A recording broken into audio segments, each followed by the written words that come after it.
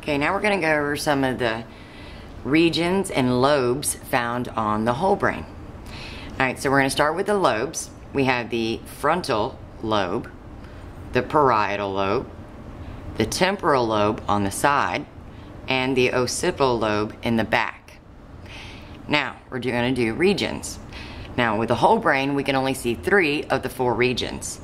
This is the cerebrum, which makes up most of the brain.